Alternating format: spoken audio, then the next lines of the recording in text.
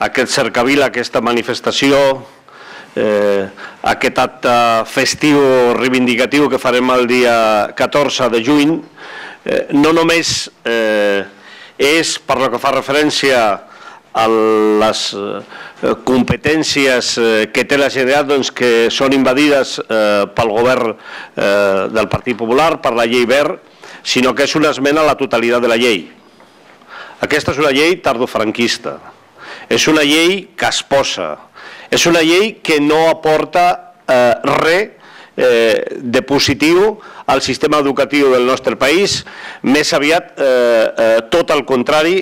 Eh, amb aquestes agressions, perquè no hi ha una altra manera de dir-ho, eh, i, i veiem dos aspectes eh, davant dels quals reaccionem.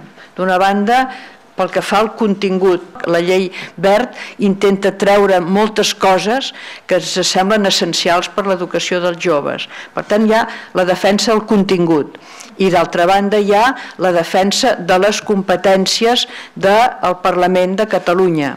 És a dir, eh, l'educació a Catalunya es decideix per part de les institucions polítiques catalanes per tant, hi ha aquest aspecte de defensa de l'autonomia la, de eh, de, de Catalunya. I, I si em permeten, eh, especialment eh, dolós és per nosaltres el que fa referència a la immersió lingüística. Eh, el Partit eh, eh Popular, el, el conjunt de doncs, d'entitats, mitjans de comunicació que li fan eh, costat doncs, han decidit que eh, una de les qüestions eh, amb les que s'ha d'acabar a Catalunya doncs, és amb la seva escola i en concret amb la immersió lingüística. Per nosaltres eh, la immersió lingüística és un dret conquerit pels treballadors i les treballadores d'aquest país fa molts anys.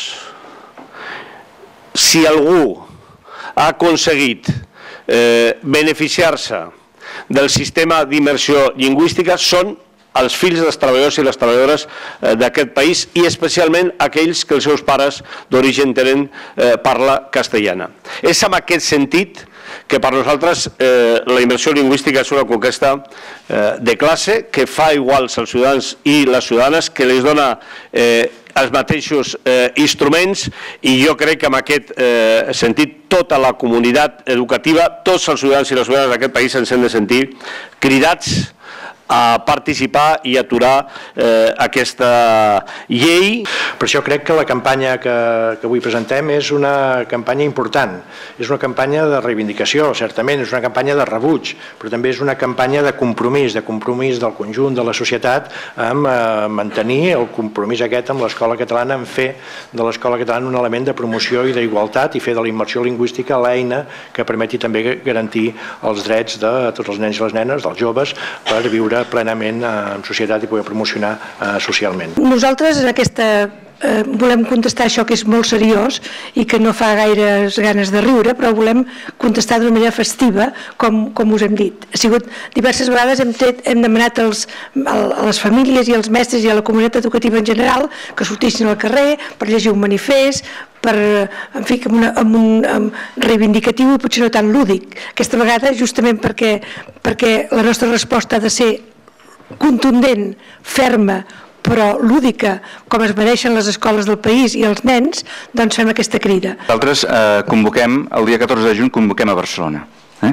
I demanem a tot el país que vingui a Barcelona, que les escoles vinguin a Barcelona, que organitzin aquell dia com un dia eh, lúdic, festiu, d'anar cap, a, cap, a, cap, a cap a la ciutat. No? L'escola ha demostrat que estima aquest país, ho està demostrant constantment, doncs, eh, i aquest país també està demostrant que estima l'escola, i aquell dia serà per dir-li a l'escola, eh, eh, als nens i nenes, als, als pares i mares, als mestres, doncs que, eh, que confiem en l'escola i, que, i que aquesta escola és la que eh, democràticament hem escollit que sigui així.